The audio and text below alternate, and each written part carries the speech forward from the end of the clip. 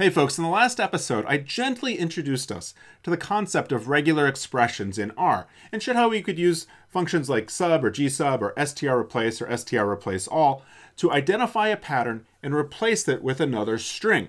Well, today we're going to go a little bit deeper in learning about regular expressions. The regular expressions I made in the last episode had the goal of pulling out different pieces of information from a column of strings that contained uh, an animal's sex, uh, their identifier number, and the day of uh, the sample that was obtained from that animal post weaning. Does that make sense? Anyway, there was a lot packed into that sample identifier. If we look back at the code that we generated in that episode, you'll notice that we talked about matching specific characters, like I have here for this D that we wanted to match the D in the sample name that we talked about meta characters like backslash backslash D or back back W or back back S to match word and space characters respectively. We also introduced the concept of a quantifier where the star character means to match the preceding character zero or more times. Now, one of the challenges with this code is that it's not very specific. It works just fine, don't get me wrong, it works fine for the samples column uh, that we are working with, but it's not very specific. And by making the patterns more specific, then we lessen the risk of accidentally matching one pattern that we didn't really mean to match. Let's go ahead and rerun our code. If we go ahead and look at distibble, we see the first column is samples, and then it's followed by the rest of the distance matrix. And what I'm trying to do is create sample lookup that has the samples identifier as well as a column for the animal's sex, an identifier number, and the days post-weaning, so that later on, when I've kind of done some analysis with the distance matrix, I could then join back in these little pieces of metadata. So we started this by looking at select samples, and I'm gonna go ahead and copy this down below so that I can show you how we can make this pattern search a little bit more specific, right? Let's go ahead and bring down this first um, pattern match. So I wanna show you how we can make this a little bit more specific. Say instead of giving my animals numbers, I'd given them letters. So I had FA, FB, FC, FD. Can you see a problem we might run into here? So FDD would match the pattern that we currently have because that second D would basically be a number repeated zero times, right? So we can replace that star and insert instead an, a plus. And that plus will match the preceding digit one or more times. Alternatively, a question mark would match the preceding character zero or one times. That's clearly not what we want here, so we'll go ahead and use that plus sign. Again, this is on the second page of the string R cheat sheet, down here um, in the kind of lower right corner of that second page of different ways of looking at quantifiers. I find that that plus sign is really valuable because it's often I want to match something, I'm just not sure how many times. And so this plus quantifier, being able to match it at least one time, I find to be really useful. And again, this makes our search a little bit more specific. Another thing we could do to make our search more specific is to use anchors. And so an anchor allows us to tell where in the string we want to match the pattern. So we can use a dollar sign to make sure that our pattern matches at the end of the string. Again, nothing is going to change here because it's matching the D and then one or more digit at the end of the string, right? So it's matching F3D11, and so that works really well for us, right? Let's see if we can come up with a more specific search pattern to extract the sex from our animals.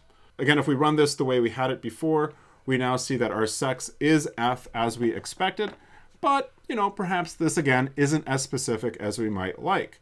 I'm gonna go ahead for now and remove the search pattern. So the dollar sign matches the end of the string, we might want to match the front of the string to get our sex, because that first character is going to be uh, the sex. So to match that at the beginning, I can put a caret. And so a caret will match the first character of the string, or make sure the pattern occurs at the beginning of the string.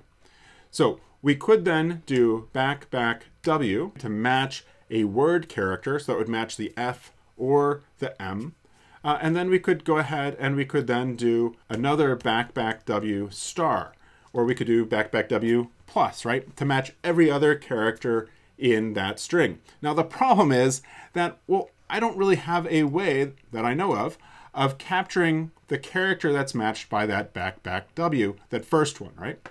And so what we can do is we can actually wrap that back back W, that character, in parentheses. And what that parentheses does is it says, hey R, save this bit of information. And as the replacement pattern, we can then do back back one. And so what it's going to do is at the very beginning of the string, because we've got that caret, it will match a character. Then it's going to match all the other characters in uh, the samples column. And it is going to replace basically the entire value in the sample column and replace it with the first character. So let's go ahead and give this a shot and make sure it works. Sure enough, it did work, right?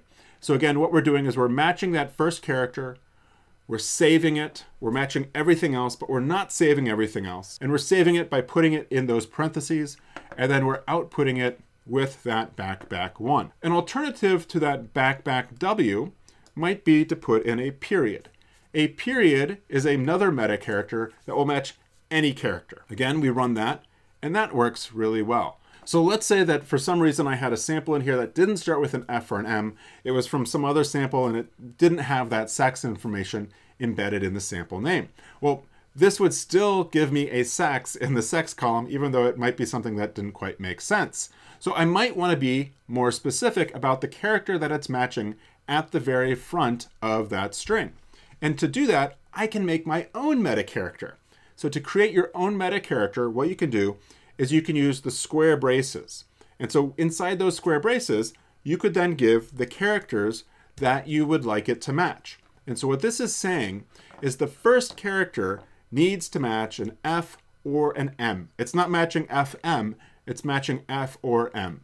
And so you get the F or M by putting it again in those square braces. And so again, we see that we now get that sex. And just for good measure, if we look at the tail, we also see that we get M as the sex for those male mice. As an example of what else we can do with these parentheses is I might wrap the second part of the search string in parentheses as well. And so I now have two things being saved, the first character and the rest of the string. So what I could do would be to do back back 2 hyphen back back 1. And so now what I see is that I have basically flipped things around. And I could actually get rid of that hyphen and just totally jumble up uh, the string that I had in my samples column as the sex. Of course, that's not what I want to do for the sex. All right, let's go ahead now and look at the day and see if we can't make the day a bit more specific as well. So we'll go ahead and grab that. And again, looking at this, we saw that we could extract the day. Uh, remember, we used string replace to remove the front part.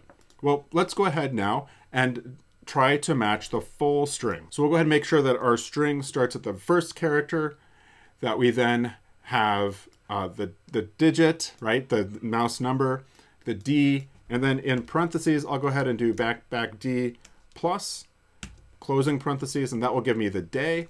And then I can then output back, back one to then again get the day out. And again, I'm being a bit more specific, and I should go ahead for good measure, put that dollar sign in to make sure I'm matching all the way. That star will match zero or more, and it is what's called greedy. So it should match all of the digits that follow. Uh, we shouldn't be worried that it might only match two of three digits, say. But that dollar sign, again, make sure that we're matching our pattern at the end of the string, and that caret matching it at the beginning of the string. And we can, of course, see that this works. So the final thing that I'd like to do with you is to revise this code so that we can use a special function called separate.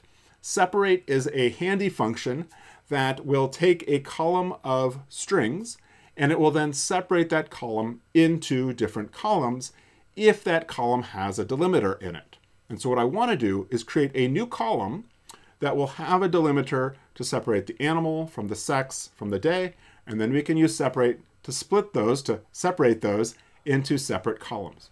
So let me show you what I mean. We'll go ahead and I'll copy this on down. And again, we've got our first column with our samples. And we'll then do mutate. And I can then do uh, delimited as the new column. And I'll do str replace. And so now what I want to do is I'm going to run, so str replace on samples. So for my pattern, I'll go ahead and put in quotes.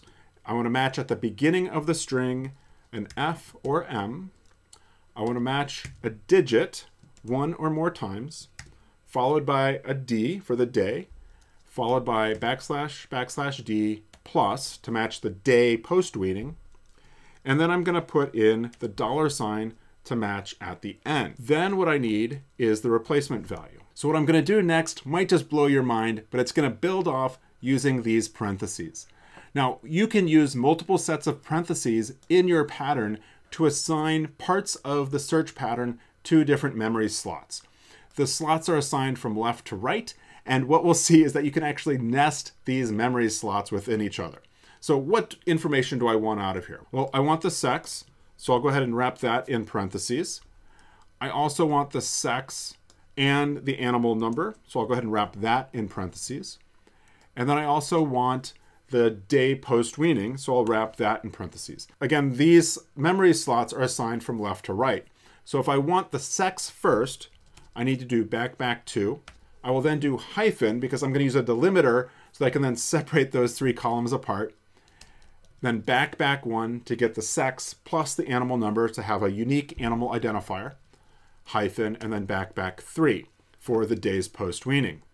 Running all this, I now see I've got a delimited column where again I have the sex, the animal identifier, and the days post weaning. Now what we can do is we can use the separate function club where I can do separate and the column I want to separate is delimited and then we're going to do into and I will then say uh, sex, animal, and then day. And then my separator is going to be the hyphen. Now I see that I've got my sex, animal, and day. Um, I think before I maybe had animal, sex, day, whatever. Uh, I now see that my day is again still of type character, and I can give separate a special argument, which would be convert equals true.